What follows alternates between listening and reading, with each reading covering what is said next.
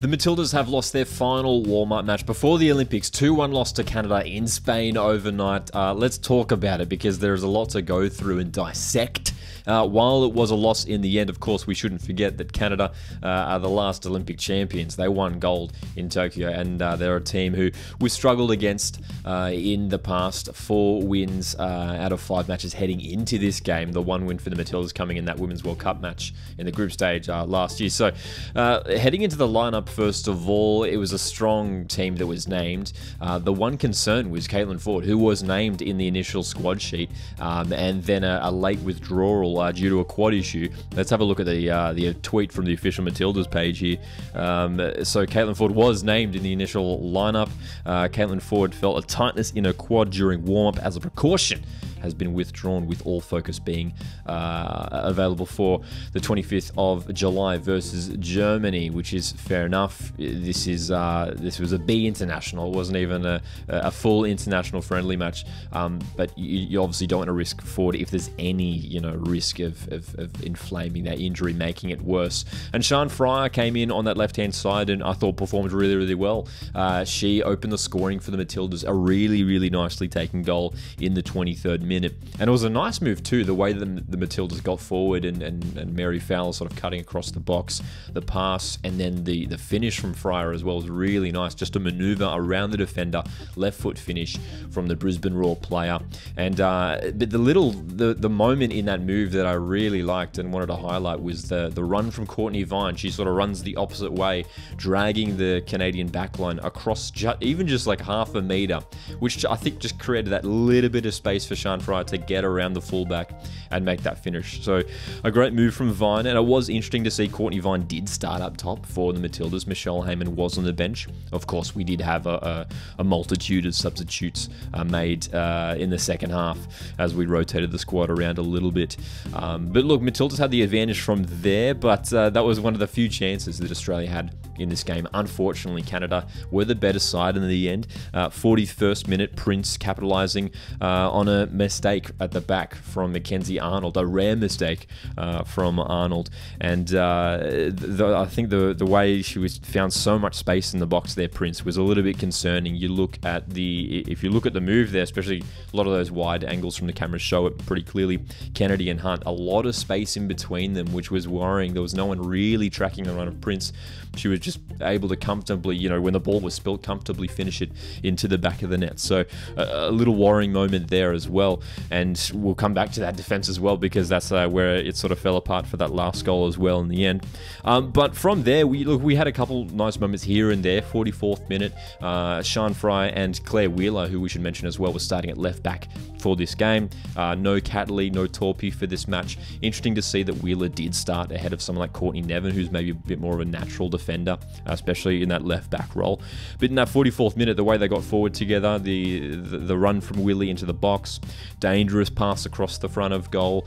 Um, again, one of the few moments from Australia. All those subs at the halftime break. Uh, Freier with a nice moment as well in the 67th minute. The way she again, you know, just shifted past the defender, uh, played a dangerous cross into the box that was collected by the goalkeeper. But at the 85th minute is where it finally came for Canada in the end, and and it's concerning, I think, to highlight the fact that um, you know. I think it's important to highlight the fact that both these goals came uh, at, towards the end of halves. And Tony Gustavsson has spoken a lot, um, you know, in the pre-match press conference about how they're intentionally sort of you know training uh, very intensely and, and, making sure that um, you know the players are ready for what is going to be a very busy tournament, a short turnaround between games. So maybe we can put it down to that, uh, you know, hot conditions over there as well in Spain, and you know maybe maybe some tired legs towards the end of the halves. Um, but the way that we were sort of just you know far too casual playing out from the back. I mean, Canada's obviously going to punish us, but you know any of our group stage opponents would punish us in that moment,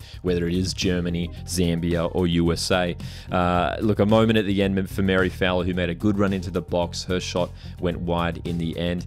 The concerning thing as well from the Matildas, as we look at the stats here, coming from Google, two shots shots uh, recorded for Australia in the end. Well, the one on the on target, obviously being the goal.